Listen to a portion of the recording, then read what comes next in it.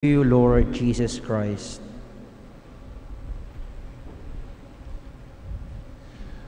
A blessed day to all of you, dear brothers and sisters, and also our fellow worshippers in other parts of the world joining us through this live stream from the shrine of Jesus, the Divine Word.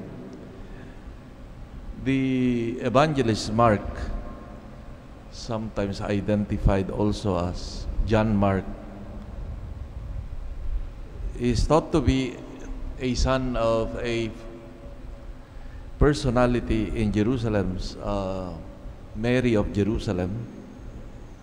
And according to uh, commentaries, that he belonged to a family, a Hellenized family of Jerusalem, who placed his house at the disposition of the first Christians. Some even think that uh, it is possible that this house opened uh, to Christ and to his disciples as the place, a possible place of the so-called Last Supper of the Lord. And uh, Mark accompanied uh, Paul in his missionary first missionary journey.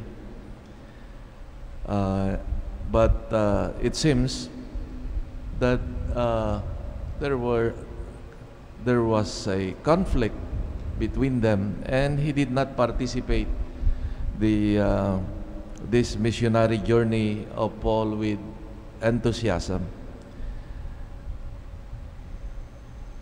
He returned later on to Jerusalem alone, and there was a uh, controversy or uh, animated discussion between Paul and Barnabas about him, about Mark on the occasion of their planning of the second uh, missionary journey of Paul.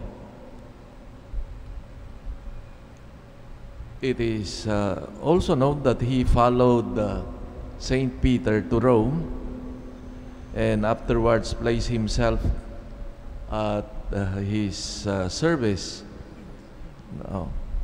especially during his imprisonment. And again, finally, he would place himself at the service of Paul during his also his imprisonment. Mark presents Jesus known through the experience of his own disciples and apostles. A question arises to present Jesus to the world even today. Who is he? No.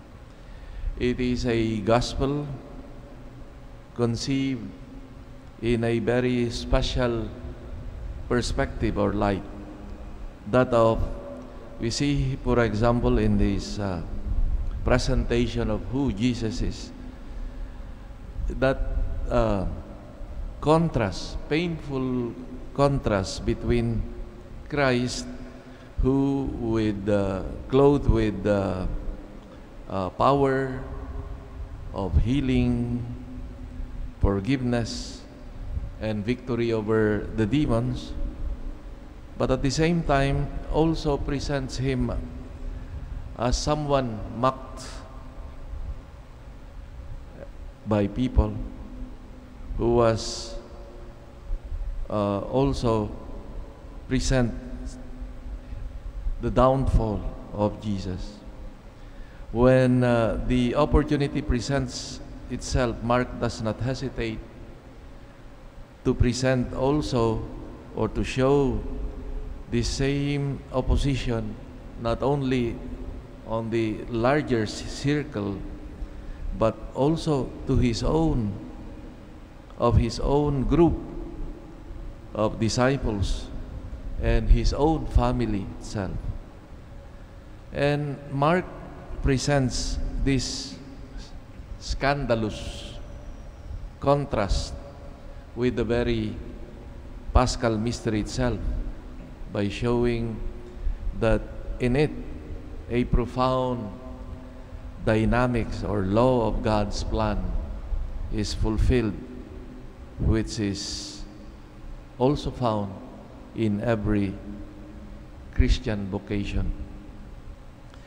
The gospel of the humiliated and opposed Messiah, suffering and crucified, led paradoxically to the confession of faith of that centurion witness at his crucifixion. He is truly the Son of God. It is that he saw behind this suffering person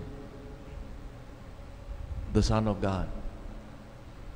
Probably this is also the conviction of Saint Mark that he saw the, the Messiah in this suffering person. Mark is the evangelist who highlights more than any of those evangelists the betrayal committed by Judas and the denial of Peter,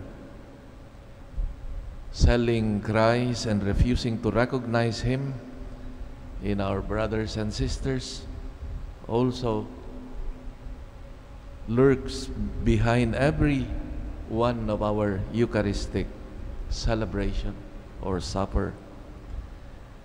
And maybe this is a, a reminder for all of us that uh, who who try to follow Christ. Also, as a warning that uh, yes, we may follow like his disciples, but we should also be careful and aware that we can become Judas or Peter. Amen.